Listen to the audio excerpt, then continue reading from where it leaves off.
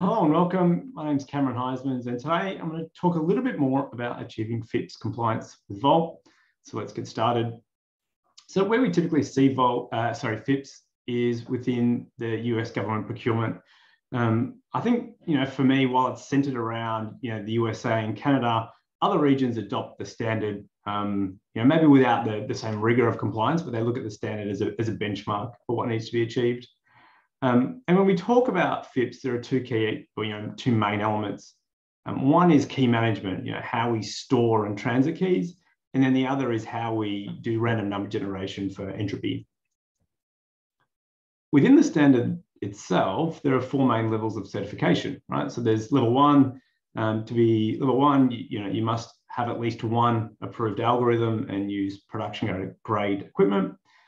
Level two kind of adds to level one and says, you need the one requirements with the physical security requirements, right? So you need to provide evidence of any tampering, you need to protect the cryptographic keys and the critical security parameters or CSPs.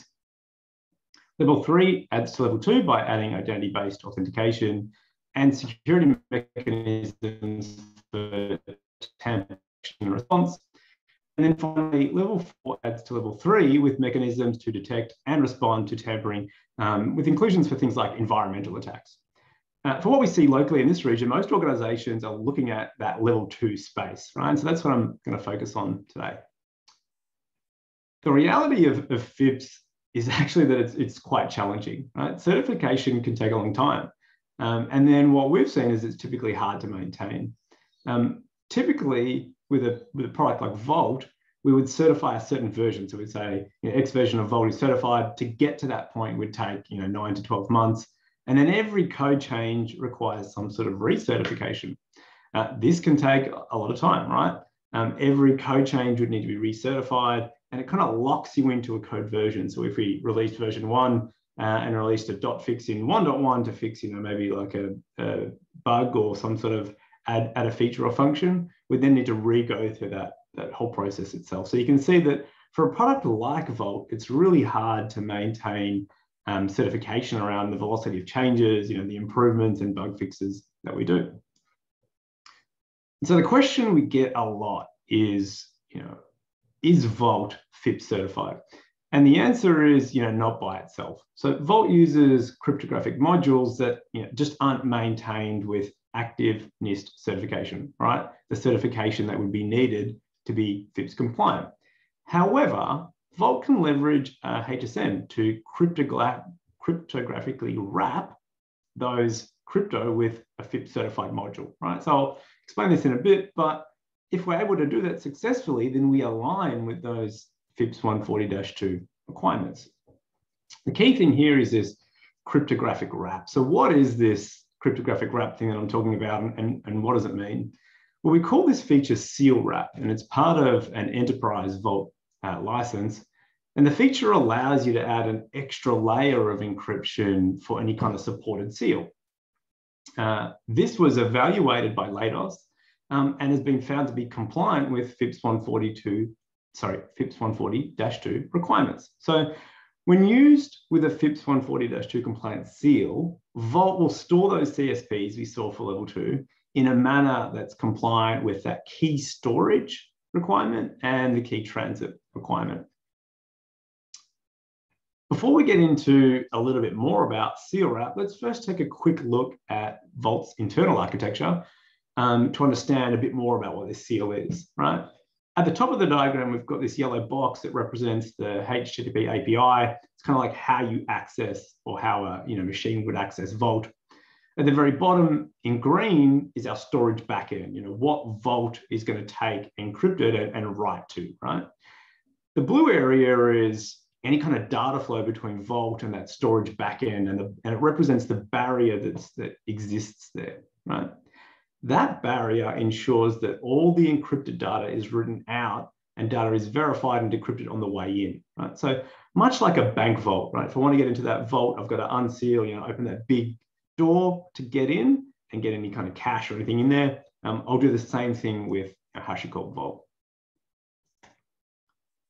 So out of the box, Vault ships with a method to protect the seal using Shamir's secret sharing algorithm.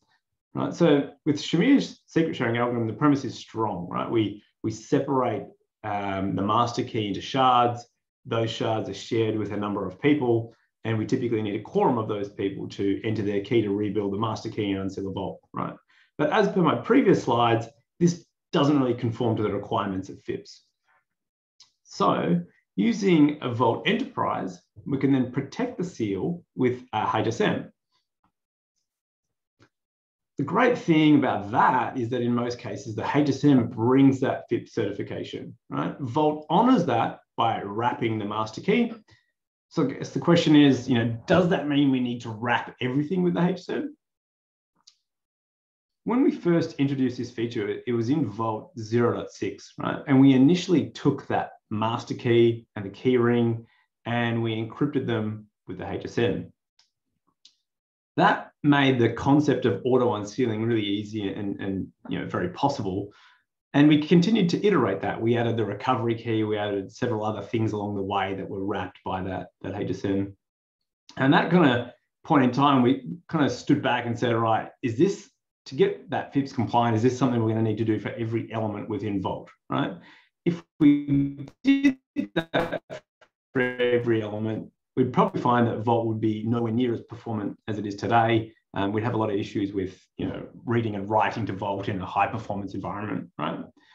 So at that point, we realized that to maintain compliance, we don't actually need to wrap everything. We can take a look at these CSPs or those you know, critical security parameters that I touched on earlier and not need to wrap everything that Vault touches, right?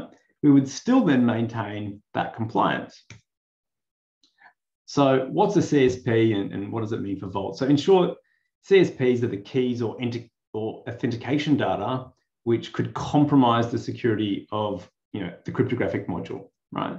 If these things were you know, leaked or unprotected, then there'd be trouble.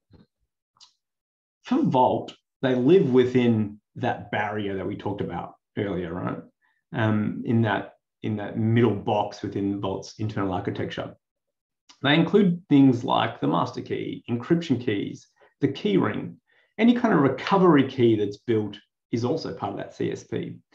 Um, an example for a, a backend like the KV um, would be everything that gets written to the KV. So every key value pair um, forms part of a CSP. For something like the PKI engine, the CA's private key would also form part of the CSP. So when we use a HSM to protect these uh, CSPs, you know, how does it work? What's that flow?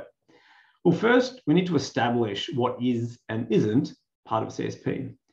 Within Vault, we have a plugin system. You know, plugins uh, typically form either an authentication or some sort of secret engine, right?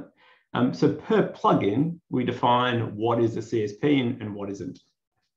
Once we've done that, we're able to take uh, anything marked as critical, and we take that information and we encrypt it uh, within Vault, as we'd normally do, right?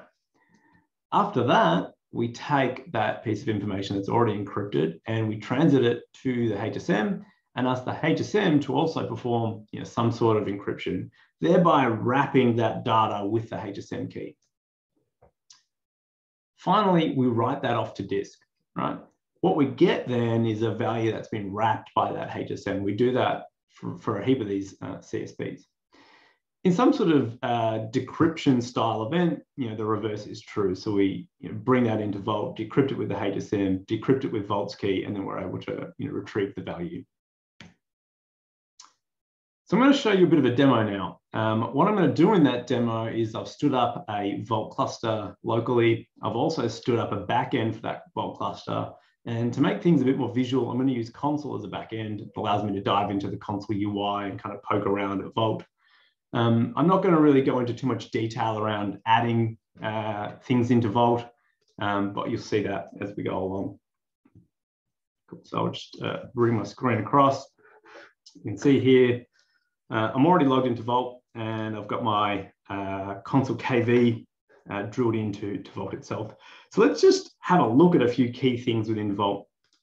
The first is within core, I can see I have as an example this keyring here. And it's interesting to note now, when I look at the keyring, I can see an encrypted value, right? Um, and this encrypted value is pre any kind of um, conformance seal, right? So I'm not using seal wrap at this point in time. I'm just showing you Vault um, as it would typically write things, right? So the key ring would be encrypted, something like the master key you know, would be encrypted and we can see that value there.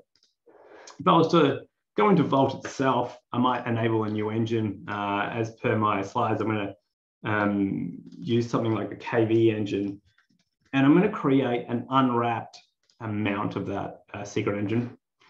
What I'll do now is I'll show you this within uh, itself. So if I go back to Vault, under the logical file system, you can see two mounts here. One's going to be for that cubby hole you saw earlier, and one's going to be for um, the wrapped uh, secret engine. The way I can determine that is to see um, this kind of detail. So right now, that engine's got nothing in it. Let me go and add a secret. And for the sake of the uh, demo, it doesn't really matter what I, what I add here because you know the expectation is that this would all be encrypted. Now, when I come back to this same uh, key value pair, I can see I've got this versions tab. Within versions, I get some data. Within this, I get you know some data that's you know fully encrypted uh, by Vault. So what I've seen here is in when Vault is operating in a standard mode, i.e it's not actually um, using a, a typical um, HSM or some sort of other conformance seal. Uh, the data just gets written and protected by Vault. What I'm going to do now is I'm going to stop my Vault service. I'm going to update my seal. So I'm going to use a new seal. Uh, in this case, I'm going to use the AWS KMS seal. And what that's going to allow me to do is to kind of demonstrate what we can do with seal wrap. So behind the scenes, I've gone ahead and I have um, uh, restarted Vault. So I'm going to come and log into Vault over here. You can see that Vault is should be unsealed. Great. I'm going to just uh, log in. So I'm to grab my root key and log in itself. Oops. Let me grab that again. It's better. So I've logged in and you can see it is still wrapped.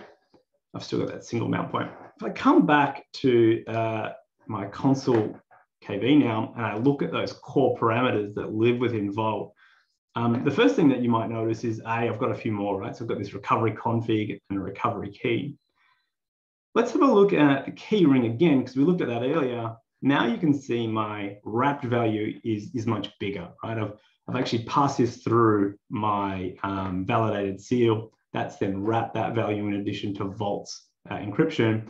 Um, and in this example, like I mentioned earlier, I'm using AWS KMS to do this uh, seal wrapping process for me. And it kind of gives me a little bit of information within the wrap itself about what's been used, right? So this is KMS out of US, uh, US West 1, and this is my key. The interesting thing here is that we get that information. Um, so we would expect for anything that's been seal wrapped to be able to see that, that AS, uh, AWS key being exposed in terms of you know, what was being used. So I saw that for the master key. If I went to something like my recovery key, you know, you can see the same thing. If I went and looked at something like uh, the key ring itself, you know, it too has, has that.